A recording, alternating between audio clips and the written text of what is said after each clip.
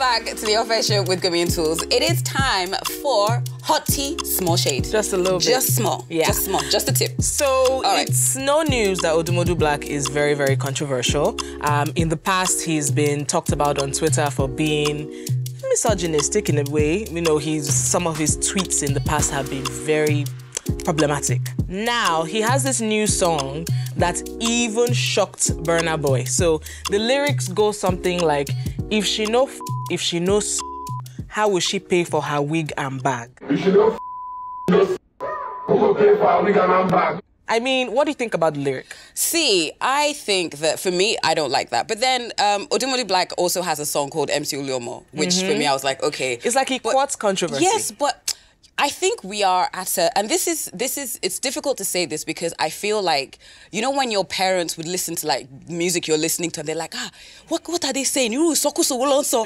I feel that that's where we are because why am I listening to a song put Odumodu Black aside for a while why am I listening to a song that says what my booty hole brown my why am I dancing to that I, I don't like that song. that is nasty. I don't so like I think that there's song. th- like so many songs now. You're you're dancing, you're dancing. You're like, wait, what did they just say? So I just think there are like lots of lyrics that need to be like revised. Now, if you're going to talk about how offensive that is, and I saw this conversation on Twitter as well.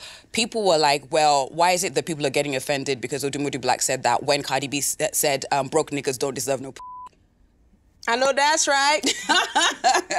so so it's basically it's basically talking about transactional sex. Mm-hmm. And this conversation has gone on and on and on. So people are quite rightly saying well why is it that he can say it um, or he can't say it but cardi b can? I just think that everybody just needs to what happened to good wholesome lyrics? Wholesome lyrics. How many wholesome songs do you mm. know at the top of the charts right now? Uh, I was actually, I, was, I thought you were going to go somewhere else. Oh. I thought you were going to say, oh, what about you and like your love for, you know, you know, one of my favorite songs is still Timaya Ukwu. Eh, That was my jam, man. But that song is a homage to, Yes. you know, African to women. African women. Yes. You know, Yes. even all I want for my birthday is a big booty hoe. That can be translated. I don't think that's bad It- so it is what? because, okay, think about it now. It was my husband's birthday recently. If he says all I want for my birthday, that's me. That's a love song. Are you a hoe? I could be. Oh, I didn't say that. Don't Yes. keep that in. No, keep Don't it. keep that in. Keep it, keep it, keep it. Anyway, let's move on. You are telling something about the Guinness Book of Records. Guinness Book of Records said to ban Nigerians. That's not true, but they should because Nigerians are wilding out. What on earth is going on? I Why are you washing your hands and trying to make that Guinness? No, it, it wasn't she was. It was. I mean, sorry, washing your clothes rather. Washing your clothes and trying to Like, make that. My problem is why are you people copycats? Before Hilda Baci and There. Kathy and all this other. Well, Who's that? Who's that? Chef Dammy, you're not nice. She's going through trials and tribulations right Yes, now. yes, we are I with love her. To you, We are with Chef her, Dammy. yes. But uh, I don't even think you should be called a chef if you've not gone to culinary school. But that's another conversation for another day. But let's keep it moving. Why is it that you're trying to break every record under the sun because you want to have Guinness Book of Records? Did you not think of any other thing to do with your life? Like, why? Okay, So if you think about it, right? If you think about you know where we are as a country, if you think about the amount of people that are living below the poverty line and everything, Mm-hmm. if you think about the success that you know uh, breaking this record had for Hilda. Maybe I should do something like that. So for me, I can understand, but it is just th- there are different things you could do. Cooking Why is a talent. Yeah. Right? Right?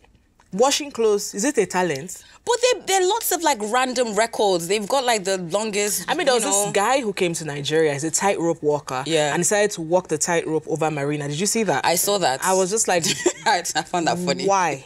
But I found that funny. I was like, God bless you. So I get it, but at the same time, I think we've just overdone it. I'm sure, like the Guinness Book of Records people are like, oh, Nigerians no, again. but I think they like it because um, they like they've never. I don't think they've ever received that much this traffic, much right? traffic. They even, I mean, even though somebody has broken her record, they still invited her to Yeah. their uh, office somewhere in the UK, and she did an interview and all these things. So it's fine, whatever. It's just a bit like- if you were to break a Guinness Book of Records of any kind, what will you do? so what can I do? I really thought about that. Like after she, after Hilda broke the record, I was like, what can I do? I was like, ah, is it sleep? Maybe is it sleep or is it? I was. I can't even say stuff like. Okay, what about us? What what, what do you think we should gossip? gossip. I don't like gossip. I prefer exchange of information. So we can exchange information for hours and hours and hours, Possibly. and possibly and days. So and I tried to do this thing where you know there was something that I posted. Mm-hmm. Uh, this is after Hilda broke that record. There was something that I posted where um, there was this woman that she had like um, a child or like was it a, a child standing on like her backside, and I thought I'd, I could do that. I could apparently I can't. So I failed at that. I don't know if there's any record I can like break. Yeah. Let's move on, please. Thank you. longest longest um sleep, longest sleep ever. Yeah, That's that's me. Let's move on. So, Okay. Israel DMW and his wife have been in the news lately.